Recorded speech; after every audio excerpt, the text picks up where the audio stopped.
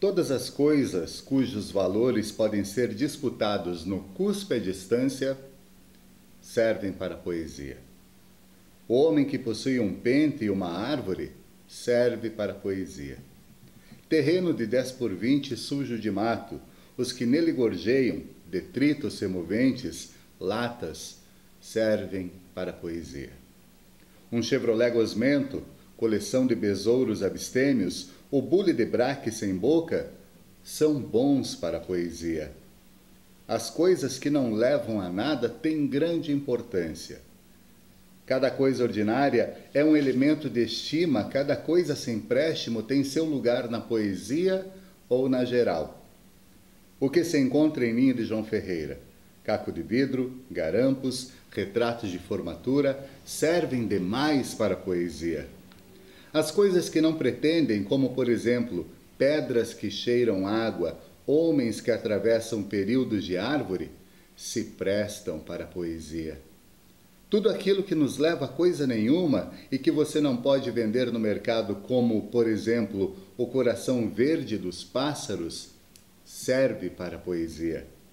As coisas que os líquenes comem, sapatos, adjetivos, têm muita importância para os pulmões da poesia.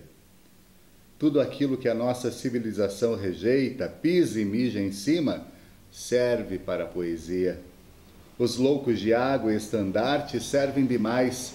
O traste é ótimo, o pobre diabo é colosso. Tudo que explique o alicate cremoso e o lodo das estrelas serve demais da conta Pessoas desimportantes dão para a poesia qualquer pessoa ou escada.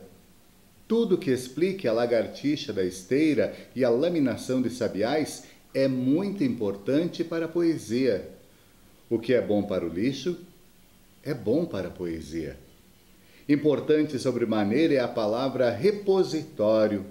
A palavra repositório eu conheço bem tem muitas repercussões, como um algibe entupido de silêncio sabe a destroços. As coisas jogadas fora têm grande importância, como um homem jogado fora. Aliás, é também objeto de poesia saber qual o período médio de um homem jogado fora. Pode permanecer na terra sem nascerem em sua boca as raízes da escória. As coisas sem importância são bens de poesia. Pois é assim que um Chevrolet Gosmento chega ao poema e as andorinhas de julho. Matéria de poesia. Manuel de Barros. Vale a pena e muito ler.